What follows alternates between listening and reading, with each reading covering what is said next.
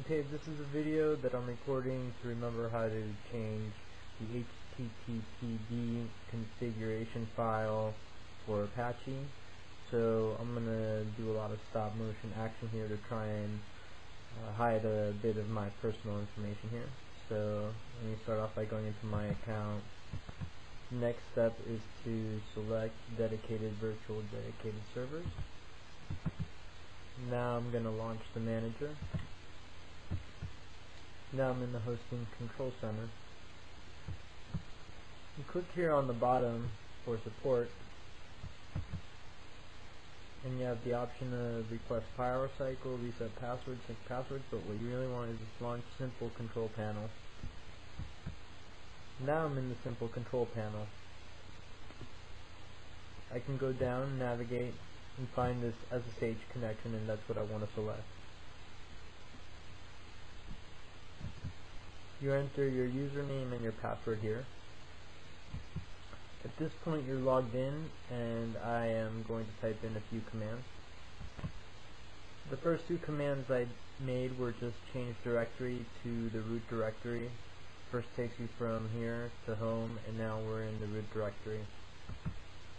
The ls command is the analog of dir in Windows and DOS so you can use that to take a look at what you have in your current directory.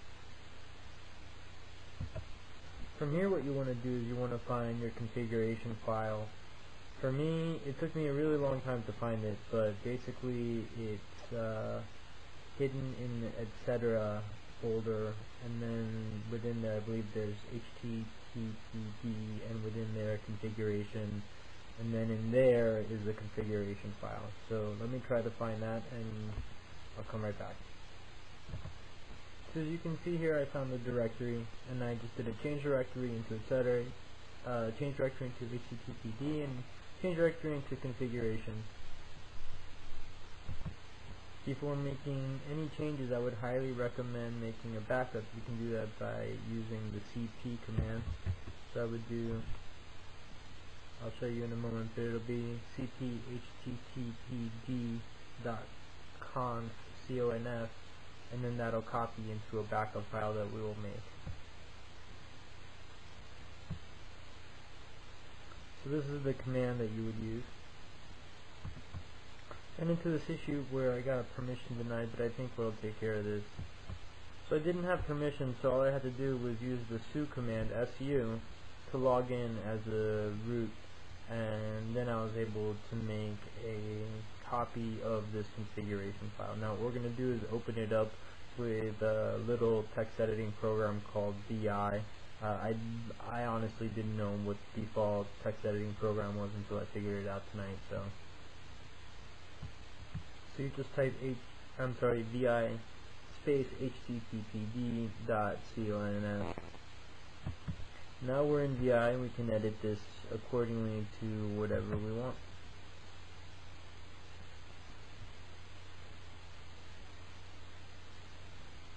You might be asking yourself how is it that I'm able to edit this file with this text editor. Well it's not as intuitive as I thought it would be. Here's an example of how you would uh, change a line. You would go to the line that you want, you press CC but be sure you know exactly what you're doing. See, you can't have issues like that. Uh, so then basically once you're done you press escape and when you want to save you press capital Z, capital Z. Oops. Well I guess it's no big secret that every server has a root account of some sort. In any case, uh, I ask that you not try to hack my servers. I'm simply trying to disseminate information out to you. I do have some complex passwords, so I do take care of my security, so please don't try. Okay, so I'm running out of time for here, but what you want to do is go into server